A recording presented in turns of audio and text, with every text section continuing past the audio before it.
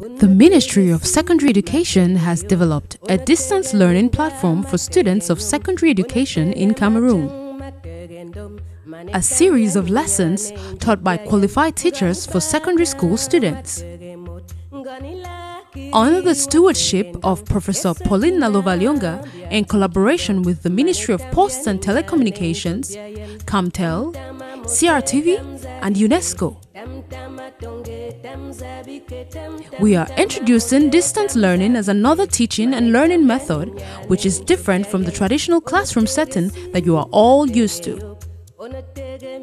In the distance education mode, you are not with the teacher in person, so take your time, relax, listen to the teacher, take down notes, and visit the following links for any questions or answers to your questions. Take it in your stride. This is Cameroon's solution to COVID 19 and beyond. Professor Nalova Lyonga, Minister of Secondary Education. Welcome to this learning session. I am D. John Stanley, your mathematics teacher. In this lesson, we will start by looking at the correction of the assignments that we had in the previous lesson. Question 1.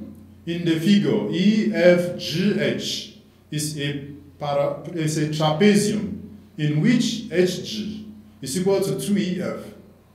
Given that EH is equal to vec vector EH is equal to Q and vector EF is equal to P, find FG.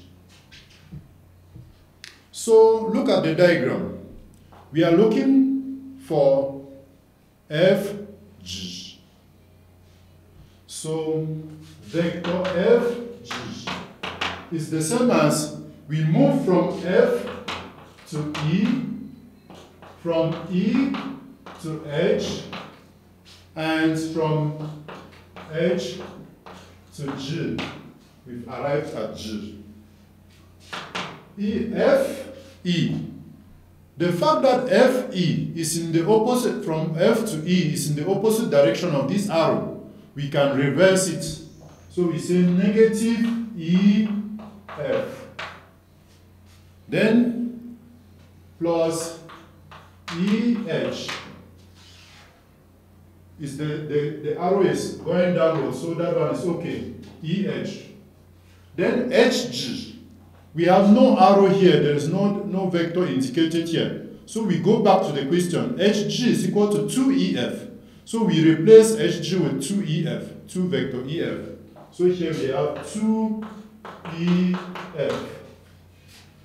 This are like like terms, so we can simplify that. Negative EF plus 2EF will give us EF, vector EF plus vector EH, which we now replace. Vector EF is vector P plus EH is vector Q. So we've obtained vector FG as P plus Q. Let's move on to the next question.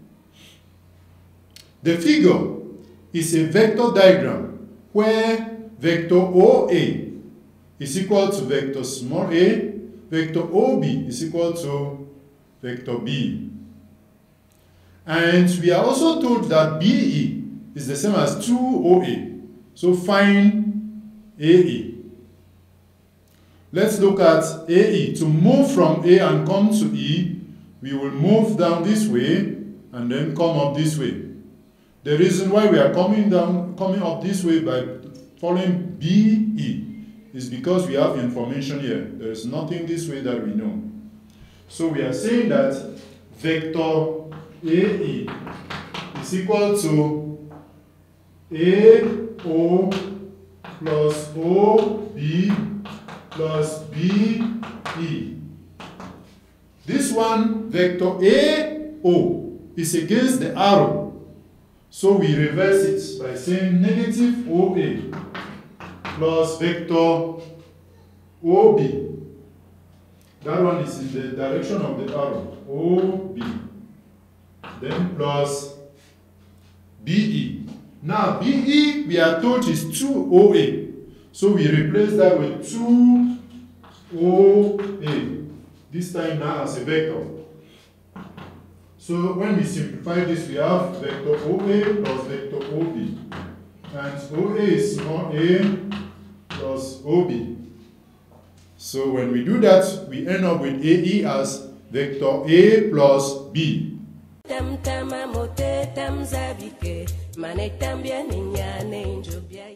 As we move on, we want to remind ourselves of the fact that we are in the module plane geometry. So far, we are looking at vectors in two dimensions. After that, we will look at simple transformations, loci, geometrical construction. Under vectors in two dimensions, we've looked at, so far we've done uh, definition and representation of vectors, we've done operations on vectors, we've seen angle between two vectors, and in the last lesson we started vector geometry, which we are still continuing in this lesson.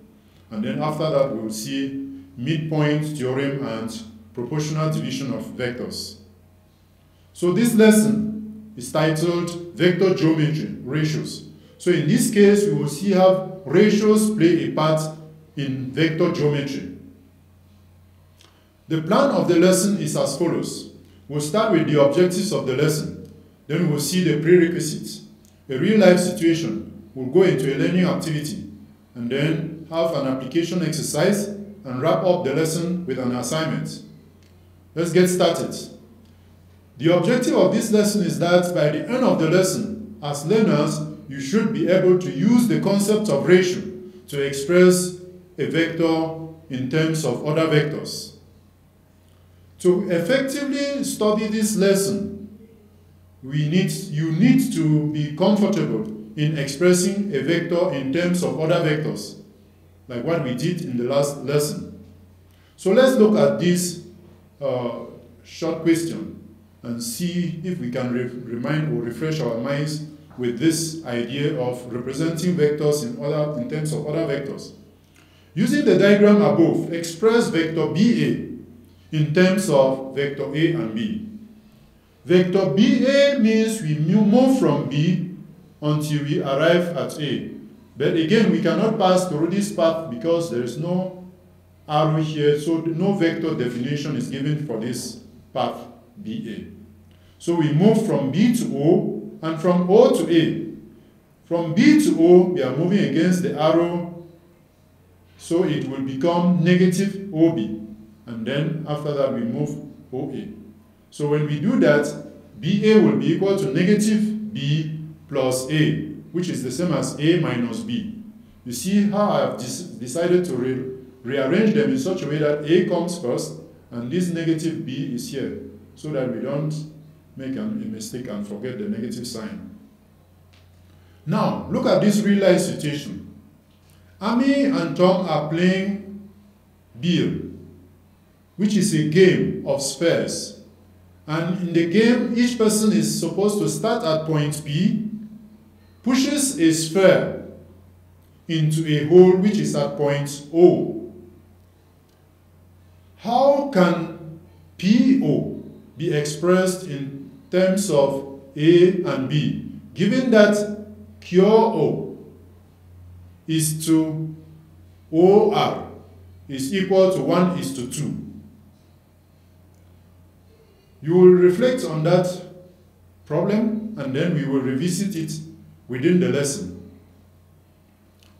Learning activity. Let's look at this learning activity. We have a triangle OAB. In such the triangle OAB is such that uh, OA, vector OA is equal to small a and vector OP is equal to B. And M is a point on AB such that AM is to MB is 2 is to 1. Express, the first task will be for us to express vector AB in terms of A and B. We'll also be expected to express AM and BM in terms of A and B. Then we'll express OM, a displacement from O to M in terms of vectors A and B. We'll do it in two ways. First, through point A and then through point B and draw a conclusion from this or from that. Let's look at the solution now. The first task is for us to do uh, to express A, B in terms of vectors A and B. So look at that vector. Vector A, B. We will do, we will come this way and then go that way. So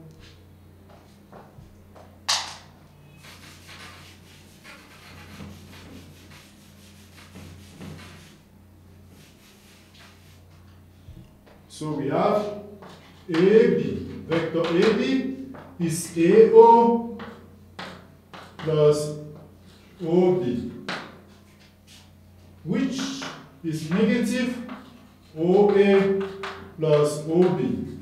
And let me just say, so that if I, if as we go on, I do that, it shouldn't be a problem. If you remember when we were doing vector representation, we saw that any vector AB can be written as O, the second letter, that's OB minus OA. So you can comfortably do this without any difficulty and it comes from here too. So now vector B, OB is vector B minus OA, which is vector A. So now we've been able to do AB, which gives us B minus A. In the second case, we want to do express AM and M and BM in terms of A and B. Now let's look at this question. We are told that M is such that AM is to MB is equal to 2 is to 1. So what happens is that we have a ratio here. This distance AM is to MB gives us this which means AM is twice as long as MB. So if we divide AB into three equal parts, AM will be twice as long as MB. What does that mean? You heard me say divide into three equal parts.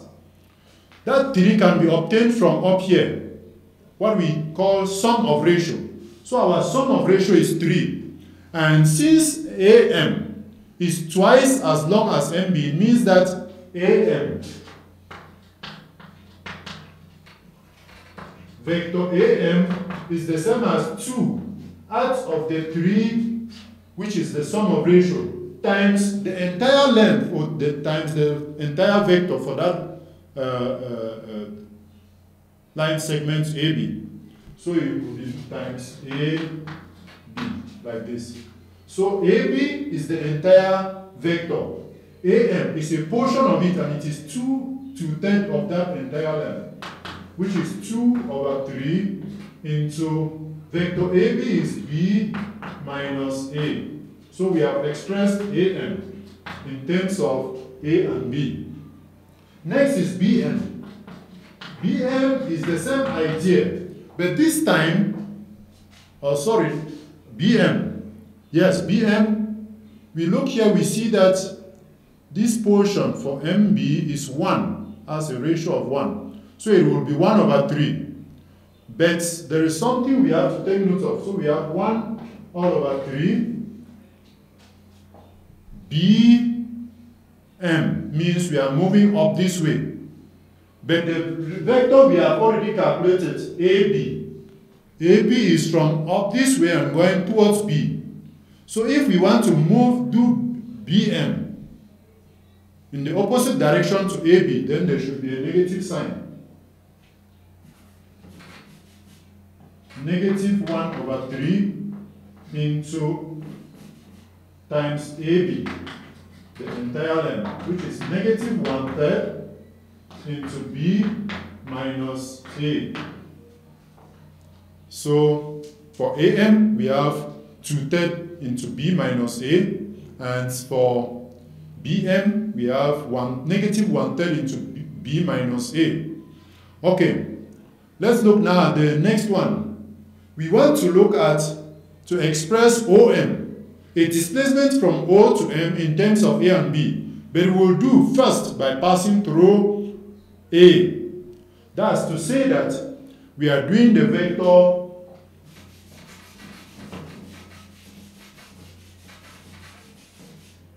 vector OM. will be OA plus A AM. So OA is vector A, AM. We've already calculated AM as 2 thirds into B minus A. So we simplify that. When we open this bracket, we have A, vector A, minus 2 thirds A. And that gives us 1 third A plus 2 thirds B. 1 third A plus 2 third B. That's the vector OM. When we do it passing through A, let's do it now passing through B. That will give us vector OM as OB plus BM. Vector OB is B plus vector bm. We saw that vector bm was negative one third. So we write negative one third into b minus a. When we open the brackets, this will be b minus one third b. That gives us two third b minus one third a. Okay, when we open this bracket, this negative and this negative, when they multiply, will have positive. So it gives us this, which can also be written as 1 third vector A plus 2 third vector B. If we look at the two answers, they are the same. So it ties with the fact that we can conclude that OM has the same expression, is irrespective of the path that we follow. So we can always obtain the same displacement vector, even if we use different uh, displacement, sum of difference of two displacement vectors. So what can we recall from here? We want to say that given that the point, if we are given a point P, which divides a line segment AB in the ratio m is to n, then vector AP will be m all over the sum of the ratios times AB, which is the entire length. And PB will be equal to n all over m plus n times AB. If you want to see it well, let me show you with this sketch.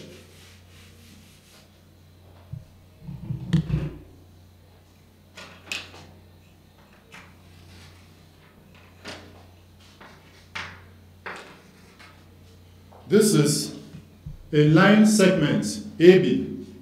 If there is a point on the line segment AB, and that point is P, and P divides AB in the ratio M is to N, then this distance AB, or the vector AP, rather, is a fraction of the entire vector AB. And that fraction is m.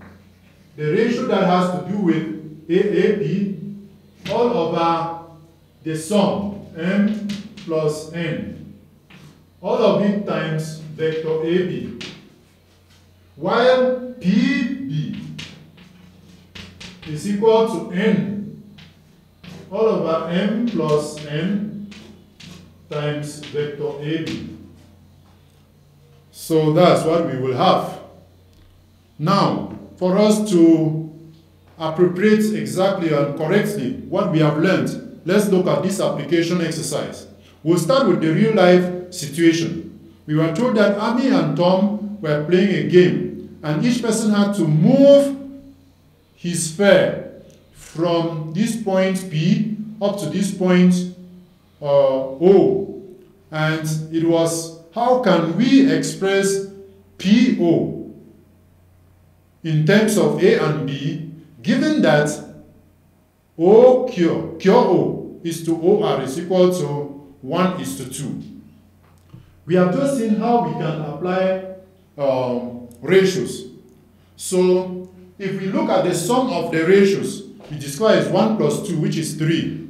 So if I want to express PO, PO vector PO, sorry, PO, vector PO is equal to PR plus RO. This is not the only part. We've seen that we can use different parts. So we can also have PQ plus QO.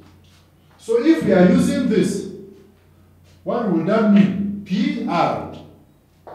We have PR, which is given, plus RQ. RQ, sorry, RO. RO is like this. Here we have OR. RO is a fraction of RQ. And RO will be taking the ratio 2. So it's 2 over 3 times RQ. So we have R PR.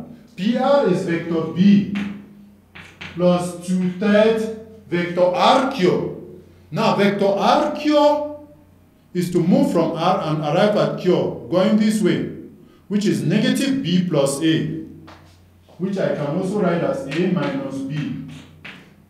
And what does that give us? If we open the brackets, this will be 2 thirds into that.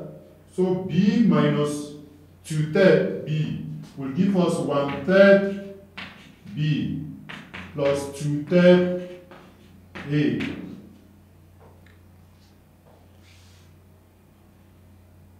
So what we've done here, what I've done here is that QR. We've already obtained QR first. Oh, there is something that we need to take note of here. Q, if we look at what I've done, let me go back a bit. We had R Q. Is negative B because we have RP, negative B. But when we leave from P to Q, the arrow is in this direction, which means that we are moving against this arrow. So it cannot be plus A. It should be negative A. So it was negative B minus A. So here we should instead have negative A. We are moving against the two arrows, so we have negative there.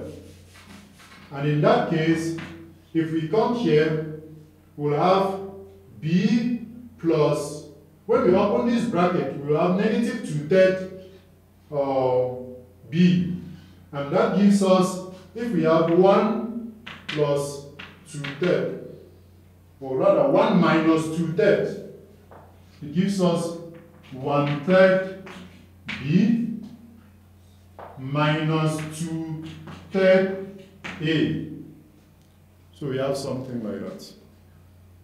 So here we first of all obtain QR as A plus B. To move from QR to R, you move this way and move this way. So it gives you A plus B. Next, we say sum of ratio is 3. So Q O. From Q up to O will be one third of QR. One third of QR gives us one third of A plus B. Now PO is equal to PQ plus QO. So in this solution we are following by this path, PQ plus QO, not the other path. But we discover that it gives us the same answer. So when we do that and we substitute what we have already calculated, that's QO and PQ. When we do that, we have 1 third B minus 2 third A. Let's look at the second question. In the figure, OA is equal to A, vector OB is equal to B, and vector OC is equal to 2 over 5 vector B. Expressed in terms of A and B, first vector CB, and secondly vector BA.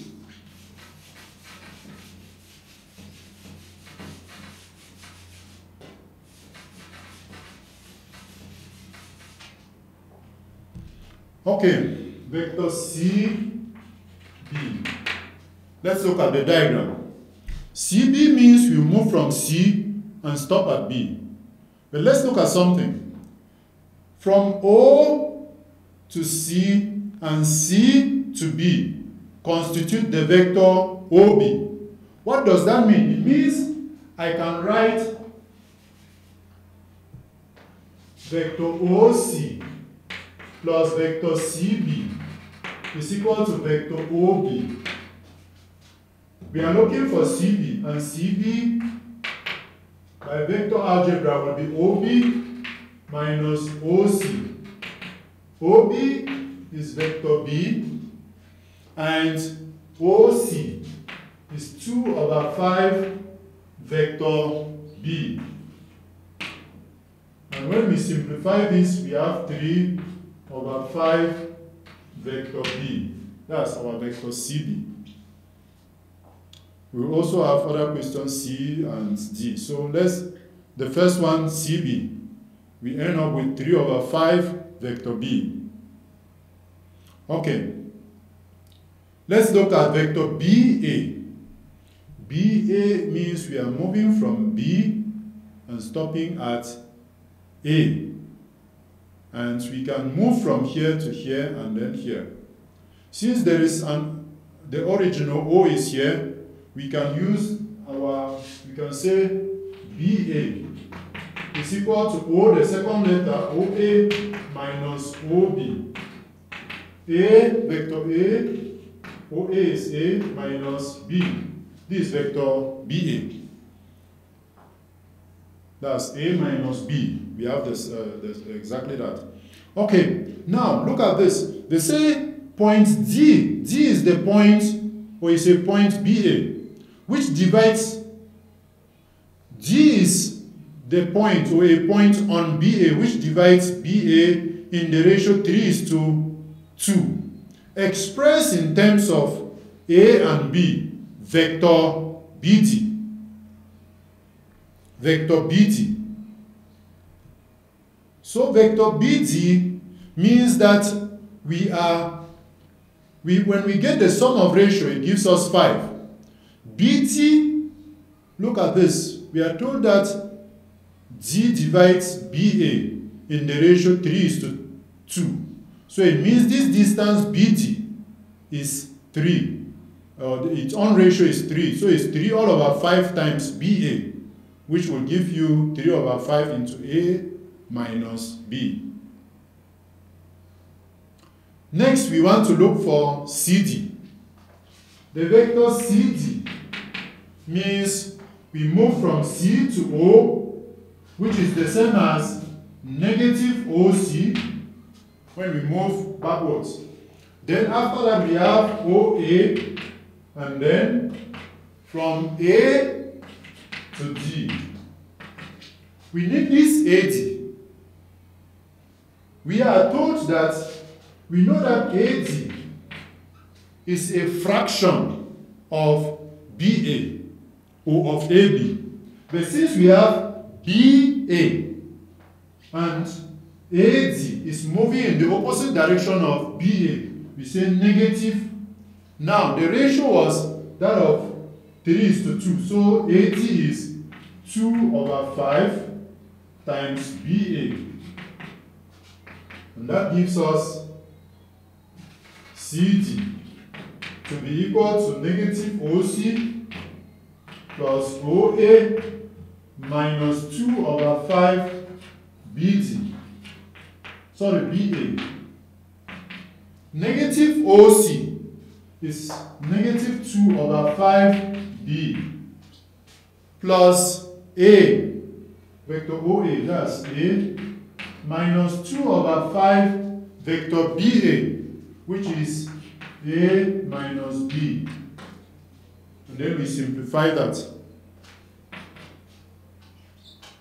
If we take this and open the bracket, this negative will multiply this negative, so vector B will be negative 2, 2 over 5b plus 2 over 5b. So that one cancels out. Then vector A minus 2, 2 over 5a. It will give us 3 over 5 vector A. So first we obtain 80 here. And then next, we've solved for use this AD to solve for CD, which gives us 3 over 5A. Good. So, um, to keep you active and to be able for, for you to be able to verify if you understood what we've done uh, properly, uh, here is an assignment that you will look at. We have the first one here, we have this geometrical diagram, and we are expected to find vector OR. So you look at that. And then question two, we also have a diagram there. And then we have these vectors to look for. Vector PR, vector QR. And so we've come to the end of our lesson. And in the next lesson, we'll still be looking at vector geometry. Unategesi matege yop Unatege minga matege nyum. Unatege majang matege ndom Manetambia ninyane injobia yen. Ngani bana ma matege mot Ngani lakiri watege ndong. Ese kina bia dinkido Manetambia ninyane injobia yen. Tam tama mote tam zabike Tam tama tonge tam zabike tam tam tama mote tam zabike mane tambia ninyane njobia yen